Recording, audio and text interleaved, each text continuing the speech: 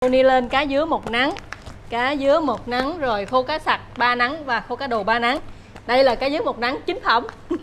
Đúng cá dứa có hai chỉ đen nè. Đúng cá dứa có hai chỉ đen chạy dọc lưng từ đầu tới đuôi nè. Con nào cũng vậy. À, con nào cũng có chỉ đen hết. Thì cá dứa này một con nó trọng lượng nó khoảng từ à, 800g đến 1 kg 2 1 kg 3 1 kg 4 à, như con này là cỡ ký 2 nè. Rồi à, con này thì à, con này nặng à. Con này ký 3 con này thì 900g ờ, đó cá dưới con nào cũng đồng đều sai cỡ này là cá không không bự lắm thịt vừa. Nếu mà anh chị mua cá dưới một nắng á, mà mua cá nhỏ quá ví dụ như năm sáu lạng một con á thì nó thịt nó hơi mỏng. Hơi mỏng ăn không được phê lắm. À, còn nếu mà mua dày quá mua bự quá đó tức là con từ ký 8, ký 7, ký 6 rồi hai ba ký trở lên á thì thịt nó dày. Ăn thì cảm giác là đi biếu thì nó rất là hoành tráng. Nhưng mà thịt nó hơi dày ăn ăn chưa được nó không được ngon lắm. Tại vì ăn cái da thì nó giòn cắn ở ngoài thì nó giòn nhưng mà thịt ở trong nó dày quá cái nó không giòn. Được cái là cắn ngập răng thích thôi. Chứ cái cảm giác là nó ăn cái size mà từ 900 g đến ký 2 là nó vẫn ngon nhất. Nó vừa phải. À, đây là thùng cá dứa một nắng. Còn bên đây là cái khô cá sặc ba nắng nè. Khô cá sặc ba nắng thì size này là 12 con ký. Thì cũng hút chân không hết rồi. Lót cái thấm dầu khô ráo sạch sẽ nha. Cá này là vừa ăn này nha. Cá sặc nhưng mà vừa ăn. Chiên ăn ngay không cần ngâm nước nha thì với khô cá sặc này thì mình có thể làm các món như là chiên nè nướng nè hoặc làm gỏi xoài gỏi bưởi khô cá sặc hoặc là làm cơm chiên cá mặn rồi rất ngon nha. Cá sặc thì dễ. Cái sản phẩm của Funi là vừa ăn. Cá này được sấy thì chỉ thi cực tím sạch sẽ nữa vừa ăn.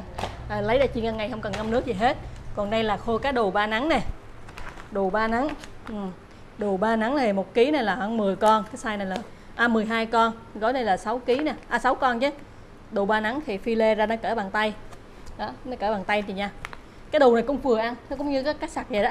Thì lấy ra chiên ngay không cần ngâm nước gì hết. Các sản phẩm của Kuni là hầu như là vừa ăn. Chỉ có mỗi cái khô cá trá phòng là hơi mặn thôi là cần phải ngâm nước thôi. À, khô, khô cá dứa nó cũng mặn hơn chút xíu.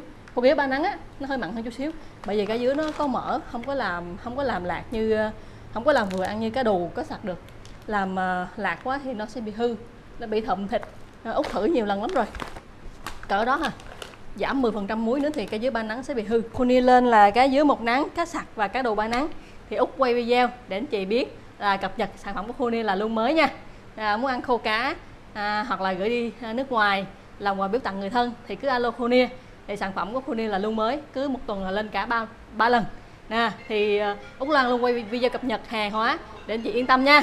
Rồi thì anh chị có thể là tìm hiểu thêm về các sản phẩm của Kuni à, khi à, khi vào website là kuni.vn nè thì à, anh thầy tìm hiểu thêm về cái quy trình sản xuất hoặc là những cái tiêu chuẩn làm khô của Khônia hoặc là quy cách đóng gói này nọ thì trên đó anh chị cũng thấy hiểu rõ.